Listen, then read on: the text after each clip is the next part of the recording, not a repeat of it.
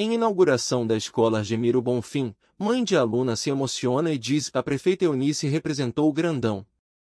De Cíntia, mãe de aluna da escola Argemiro Bonfim na Ladeira Grande, concedeu entrevista ao Piropo News, muito emocionada, numerou as qualidades da escola e disse, sem palavras, coisa linda, confortável para todas as crianças, minha filha amando só de ver, estou arrepiada só de olhar ar-condicionado em todas as salas, destacou de Cíntia na inauguração da escola Argemiro Bonfim.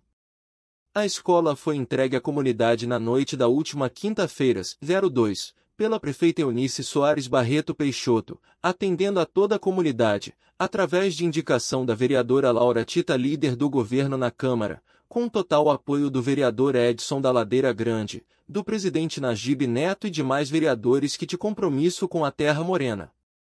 A professora Sleide Imbiruçu e toda a equipe SEMI, totalmente dedicados em uma educação de excelência em município. O líder político Isaac Filho, foi lembrado por sua dedicação em abrir portas através do diálogo em Salvador e Brasília, sempre buscando recursos com os deputados.